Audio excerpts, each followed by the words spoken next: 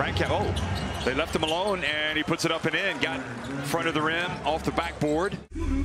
Just uh, poetry in motion at times. Frankamp came out and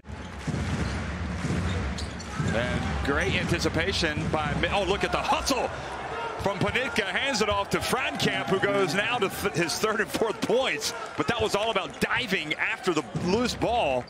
Lloyd accelerates, passes it back to Frankamp on the break. That's good. And the wind in their sails missed the shot. He was hoping a foul was going to be called. It wasn't. Good bounce pass. Frankamp gets it back. Oh, wow. Ponitka lays it up and in. Intercepted, but that pass to Frankamp, and then he gives it right back.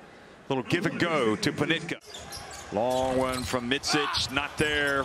Mo Moerman follows but can't get it. Lloyd now passes up ahead. Look at the pass back to Frankamp. Good! They are on a roll. Zenit add to a nightmare for Anadolu Efes in about three minutes here in the second half. Frankamp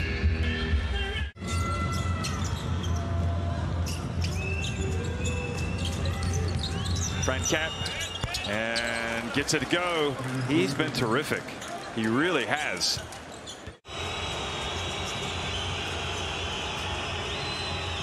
Frankamp, he sees an opening and he hits another three.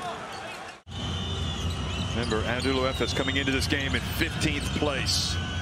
Not where you expect to see the defending champions. Kuzminskas from deep. More than happy to take time off the clock, Zenit. Shot clock about to expire. Frankamp. Good! Look at this. He takes it right down to the end.